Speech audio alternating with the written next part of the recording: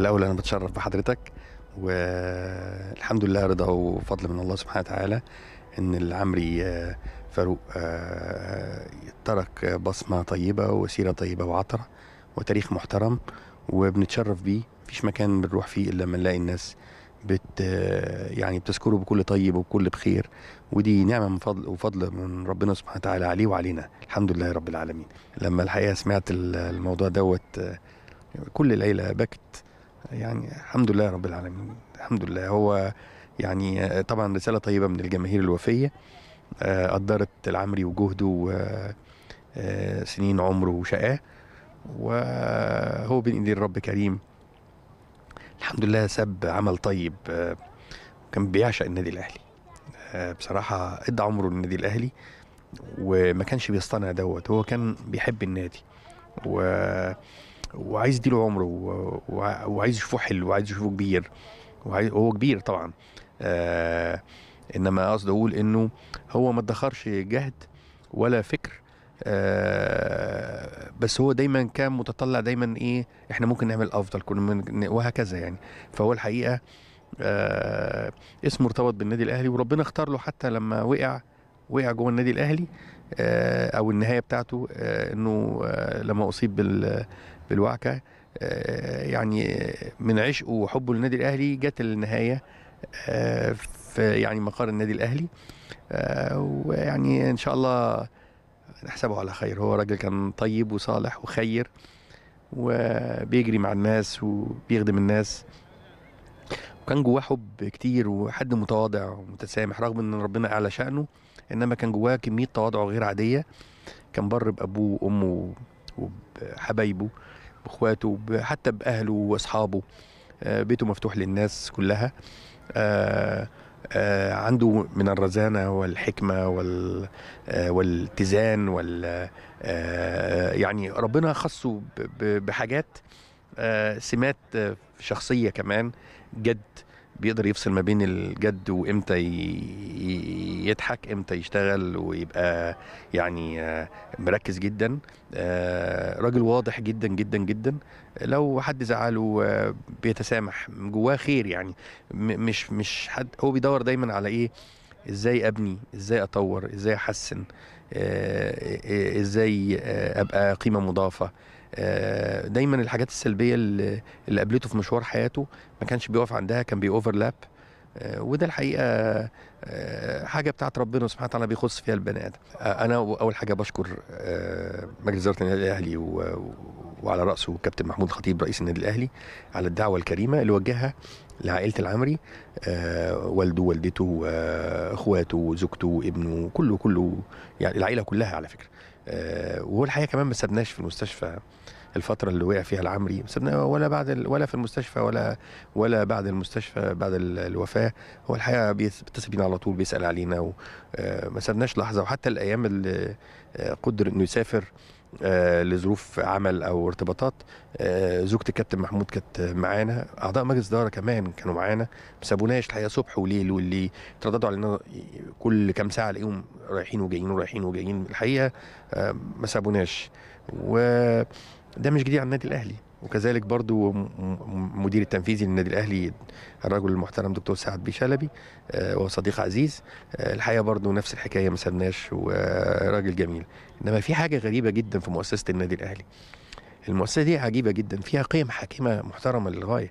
يعني القيم الحاكمة للمؤسسة ال- الرقي ال- ال- الاحترام ال- م- وقفوا معاك ما نسكش مش عارف كل دي قيم حاكمة آه، أخلاقيات عالية جدا آه، سمات محترمة جدا آه، ده ده في غاية الأهمية وده بيدي قيمة كبيرة جدا لمؤسسة النادي الأهلي إنها ما بتنساش أبنائها. النهارده اللوحة عليها اسم العمري فاروق ده دي قيمة كبيرة بتديها للأجيال خلي بالك لازم تبقى بتحترم الناس تحترم إن الناس دي أخلصت وإدت وبذلت جهد. آه، لا ده موجودين معانا لحد آخر لحظة و... و... فالحقيقة يعني كابتن محمود كان يعني مهتم جدا إن إحنا نبقى متواجدين و... وحتى في التقاط الصور آه، يعني آه، واحد في كل حاجة يعني. بصراحة الراجل يعني راجل جميل ويستحق إن يكون على رأس مؤسسة النادي الأهلي. شوف أنا شفت حاجتين. آه، الأول فكرة إنه نعمل يعني النادي الأهلي يعمل تأبين وتكريم للعمري آه، ده حاجة جميلة جدا جدا جدا. إنما شفت إزاي اتطبقت؟ التطبيق ما جاش يعني وليد صدفة لكن كابتن محمود اولا دعا المجلس إدارة ثم طرح الموضوع ثم بدأ ياخد أفكار آه، سادة الزملاء كابتن محمود في المجلس اللي هم أعضاء المجلس. كل واحد ادلى بدلوه كل واحد طرح فكر. فهو الحقيقة حط دوت على الورق ثم بعت يعني لخالد العمري ودكتور هشام العمري و- وإبراهيم العمري ابن العمري وقعد معانا في غرفة مجلس إدارة النادي الأهلي وطرح الأفكار. وقال أنا عايز آخد رايكم برضو معايا وتشاركوني الرأي. في الحقيقة طبعا آه، دي ده حاجة جميلة جدا. يعني فكرة ال- التكريم في حد ذاته حاجة كبيرة.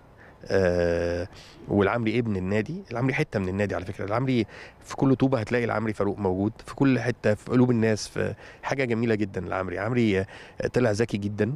أنا بعتبره كده طلع ذكي جدا لأنه آه واضح إنه ال- العمر اللي اداه للنادي وأعضاء النادي وجماهير النادي وعشقه لل- للكيان ما ما كانش مجرد لا ده راجل عمل آخرته. الناس بت بتذكره بكل طيب. كل خير. سبحان الله. بيدعوا له. هو كان راجل محترم. مش عشان أخويا بس يعني. شخص العمري فاروق. اولا هو كان هدية ربنا. لآل العمري والوالد ووالدته. هدية من ربنا سبحانه وتعالى لأنه هو أخلاقياته كانت غريبة. اولا وهو صغير. أنا آسف معلش. وهو صغير كان ما يخ... ما يزقش حد ما يضربش أطفال. وهو طفل.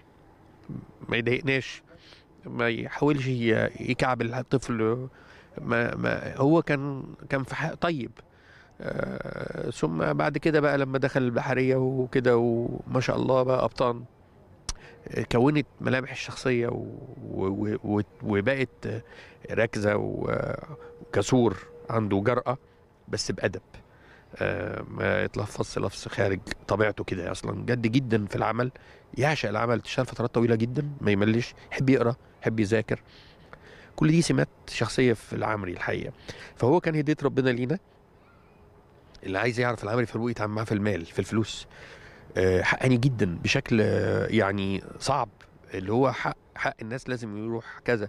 خير جدا آه، وما يعرفكش. يعني آه، الخير آه، بيعمل خير بشكل كان غير طبيعي بس ما يعرفكش أنا بعمل إيه. آه، يعني هو ي... أنت تعرف إن هو بيعمل خير بس آه، ما يتكلمش كتير ولا يحاول يبين إن هو بيعمل حاجة زي كده. آه، بيحب الناس البسطاء قوي. بيحب الخير للناس جدا. بيفرح لفرحة الناس. بيتاثر لآلام الناس وأوجاعها رغم إن الشخصية تبان إنها يعني قوية وصارمة و... وجادة و... لإنما انسانيته كانت عالية جدا جدا جدا لأبعد ما ممكن حد يتخيل. آه عنده ميزة كمان غريبة جدا. أنا أخو العمري الأكبر. آه فتلاقي العمري في قرارات هو صاحب القرار في حاجات كتير لأنه بحكم إن هو أنا راجل أستاذ في الجامعة وهو الحقيقة آه، اللي ماسك الأعمال بتاعه العيلة وكده إلا إنه آه، تلاقيه في حاجات معينة لازم يرجع لأخوه الكبير. آه، أنا آسف إن يعني اتأثرت. فيرجع لأخوه الكبير احتراما لقيمة الأخ الكبير. خد بال حضرتك؟ ودي نقطة في غاية الأهمية. يعني إيه؟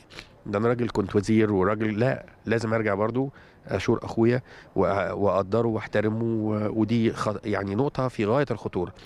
كمان العمري يعني آه، ربنا أعلى شأنه إنما هو كان بيحب اللي يقول له يا عمري مش بيحب يقول له يا معالي الوزير. آه، حاجة غريبة جدا. تركيبة الشخصية كده آه، لما حد يزعله يعني عدي وليه عند الله. أنا أهم حاجة أنجز وأحقق. كانه كان حاسس إنه المفروض يشتغل فترات كبيرة جدا في وقت قصير جدا.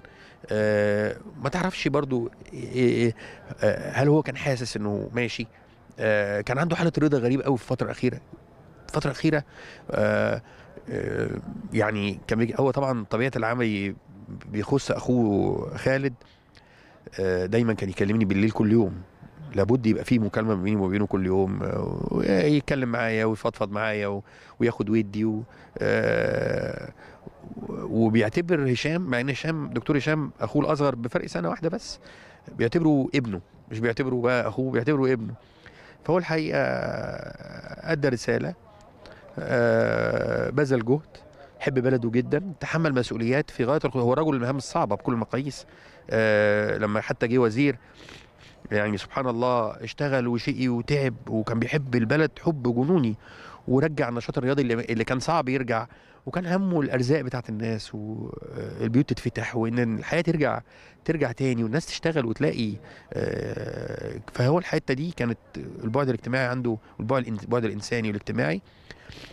حب بلده بجنون حب النادي الأهلي بجنون. بشكل بشكل حياته. النادي الأهلي عمري توحد مع النادي الأهلي يعني العمري والنادي الأهلي هم قالوا الناس قالت إن هو في جدران النادي الأهلي آه، هو توحد مع النادي الأهلي. هو ما يعني رحمة الله عليه. الله يخليك. فأنا بشكر جدا الكابتن محمود والمجلس وطبعا بشكر حضرتك قبل كل شيء.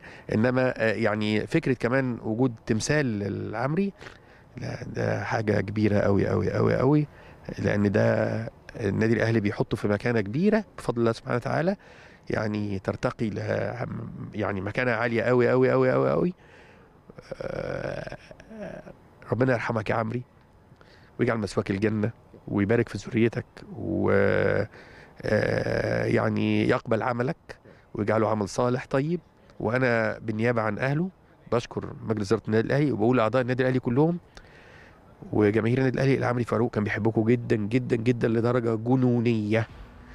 يمكن ما عبرش أو عبر بالعمل ما عبرش ممكن بالإفصاح لكن أنا أستأذن إن أنا أقولها بالنيابة عنه. وشكرا جزيلا لحضراتكم.